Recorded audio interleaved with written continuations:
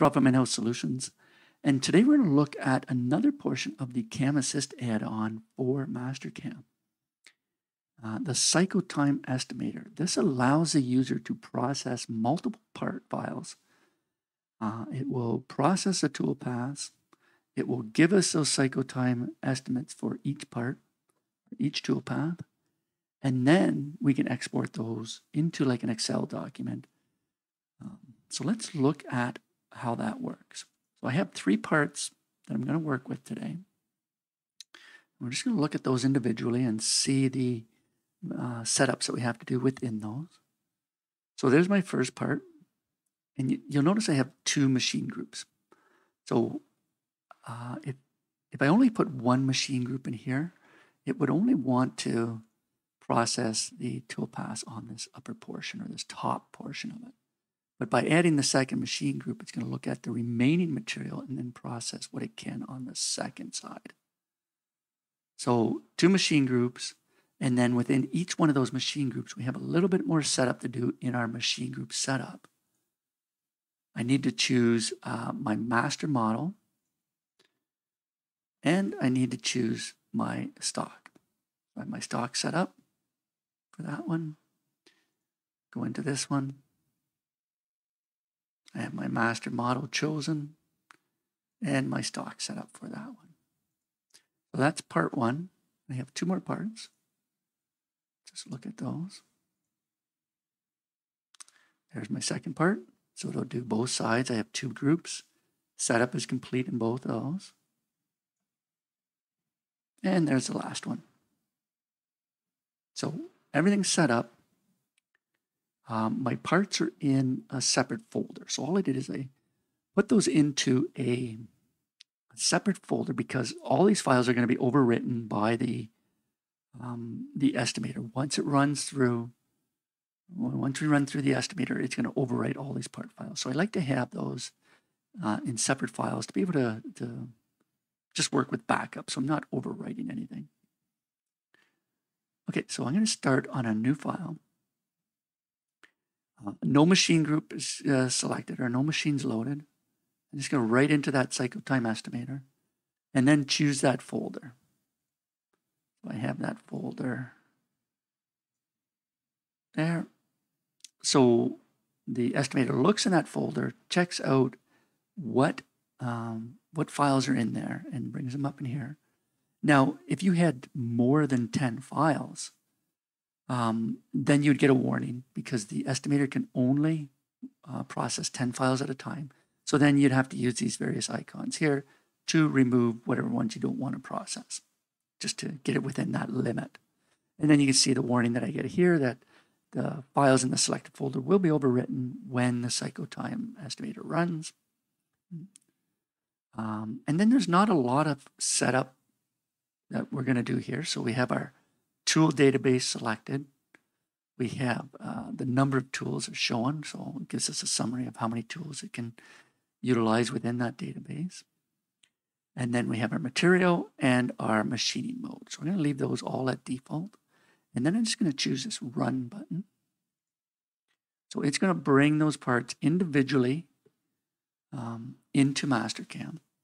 And then the add-on will process those and um, group up all those toolpaths accordingly, just like it does in the um, the add-on, Assist add-on.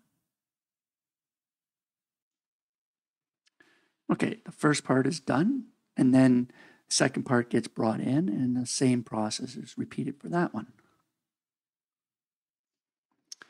Okay, and then finally that third part gets brought in and processed. And then we can see I get a, a message here that uh, it finished three parts, 66 operations were completed, and 185 of 185 surfaces were machined.